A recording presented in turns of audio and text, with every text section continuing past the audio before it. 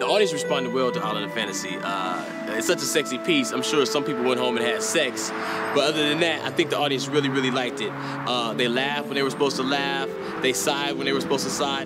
You know, it's funny. My mother was actually at the premiere, and uh, she's had some time to warm up to uh, the Mo Girls and the sexy thing. And I think she liked the fact uh, that I had the story. She was very much into the story. She thought the guys were funny. She loves Phuong. She follows him on, on Facebook and sees the comments he's making. Yo, Mo, you know, when's, how's, how's everything going with the premiere? How's the movie? And she laughed and she said, you should do some more. She wasn't advocating necessarily the sexy thing, but you know, keep the guys, keep the gypsy, you know, maybe have them going on some other adventure.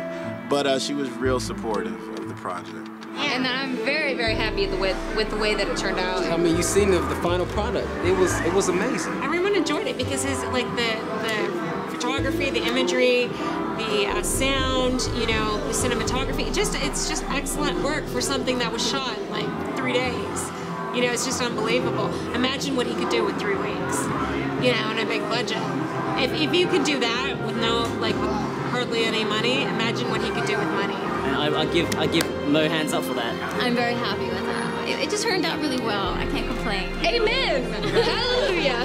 Oh man, some of the responses were phenomenal. Um, the one that sticks in my head the most was someone who had been following Mo Girls. Uh, you know, a lot of people came to premiere, some actors, you know, other directors, models, or whatnot. But someone who had been following Mo Girls came up to me and said, "Man, that was great. You know, I've been uh, looking at your calendar, you know, following you a long time, and Island of Fantasy was your calendar brought to life." That was pretty much the best thing anybody could say because that was my goal. I wanted to keep the branding, the certain look with the girls, the extra smooth look, and I was able to deliver that in a way that he came up and told me that. It wasn't a baited question, I didn't know him, and I think that amongst all the positive uh, feedback was, was what stood out to me the most.